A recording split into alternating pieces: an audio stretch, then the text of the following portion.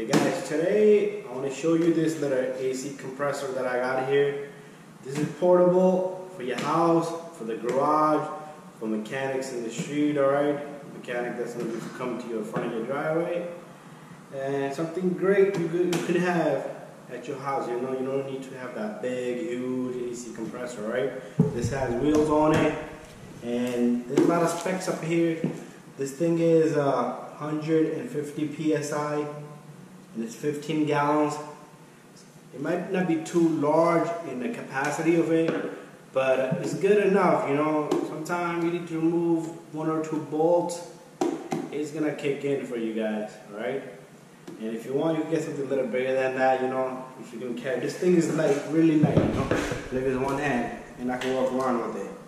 Maneuver it. And it comes with this little line here, flexible line. This thing reaches almost like probably good 20 to 25 feet. And then the best part is let and it all comes back together. And uh,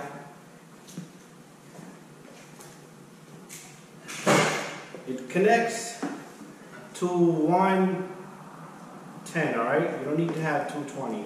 So it connects to 110 volts. You take that, plug it in, regular electricity for your house. You don't need to modify anything to 220 volts. So that's it. Plugs right in, right? You take it and you plug it in and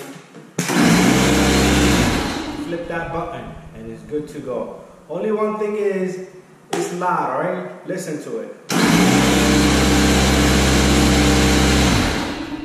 It is loud, alright guys? Right now I have almost like 100 PSI in there. I already got this thing run for probably like uh, two minutes only.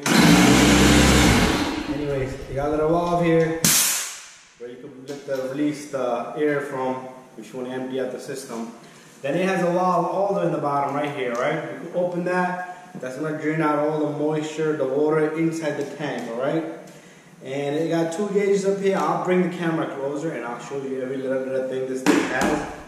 But how did I get this? Why did I get this? I really wasn't interested in getting this. I had no urge to get this.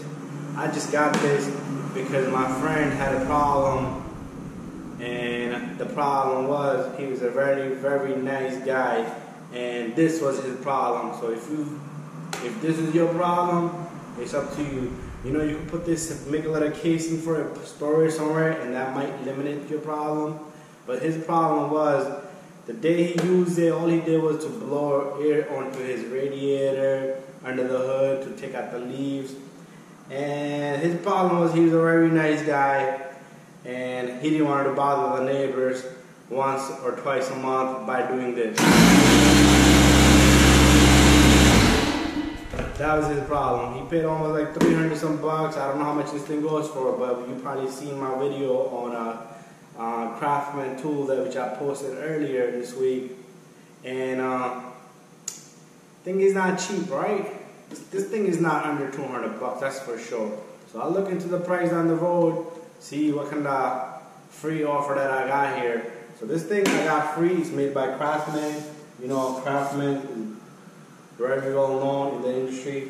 But anyway, let me go grab my gun. I'm gonna connect my gun to this, alright? I connect my impact gun to this. Alright, so I'm not gonna be taking out any bolts, but I just wanna show you guys. This thing is not fully powered up yet. It has a 90 psi. And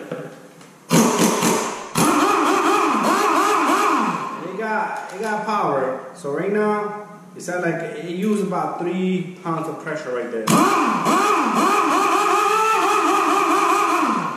You can use this a lot, or you could connect your air ratchet, air cutter, air hammer, anything you like to this little bad boy. And if you want to get a bigger tank, it's up to you. But let's say you have a flat tire in your driveway, pull this thing right out there, let it charge for 10 minutes, it'll be fully charged, and it's good to go. So let me bring my camera closer, and you could, I'll show you all the specs that you need to see on this. Alright guys, first of all, there it is. It's made by Craftsman. And 100 psi max. That's the that would be the the pressure of the air.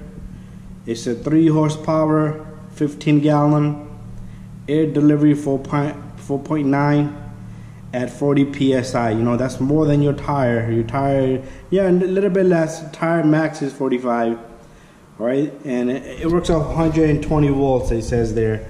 So I was probably a little bit on and off on the single cylinder oil free so there's no oil in there. You don't have to do much of a maintenance.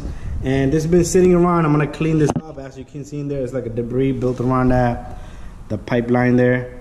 But anyways i hope you can see right there. And then let me remove this little guy from right here and there's a pressure regulator right there. Right guys?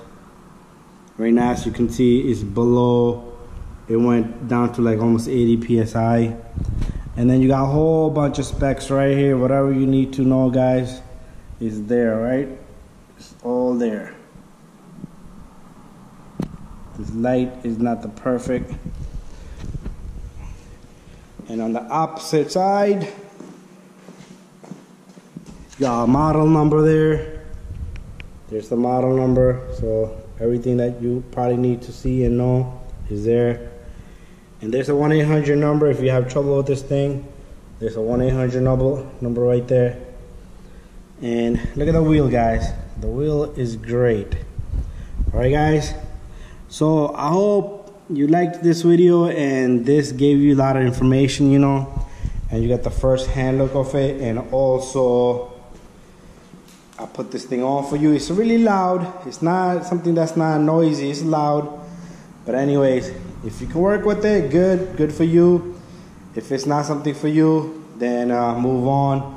I'm sure there's some better ones. There's silent ones, but like I said, I got this for free, and I wasn't gonna let it go. You know, he would have given it to somebody else if it wasn't me.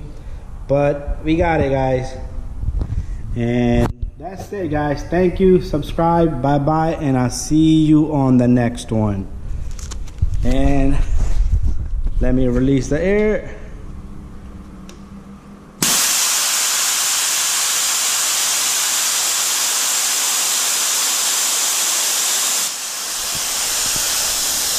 And that's it, guys. It can empty out itself.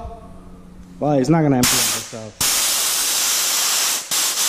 I'll empty that out because I'm gonna put this to the side and I'll make a good use of it at home. Alright guys, bye bye.